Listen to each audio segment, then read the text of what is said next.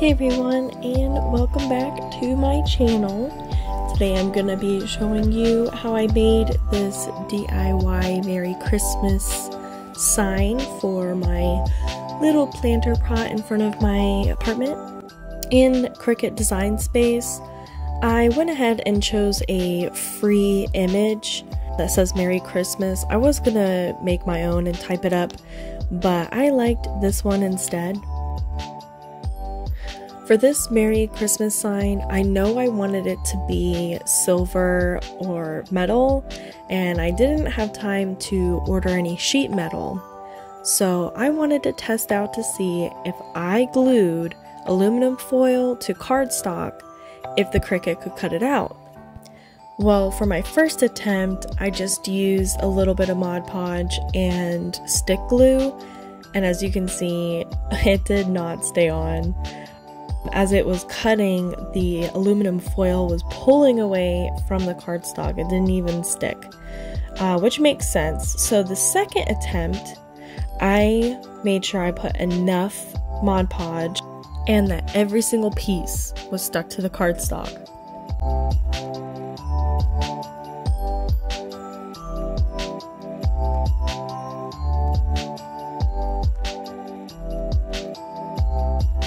My second attempt at cutting this out went a lot better. There were just a few pieces that came up, so once it was done cutting, I then glued those pieces back onto the cardstock. I will say though that this did work out in the end, for at least what I was going for. However, I do not have the right tools, like the blade is not the blade that you would use to cut sheet metal. Um, so it didn't go all the way through. As you can see, I had to use my X-Acto knife to try to get the rest out. When I was looking for the Merry Christmas cutout, I saw these other Christmas decorations that I thought were super cute. So I decided to cut these out as well and put them in my window for a little Christmas window art.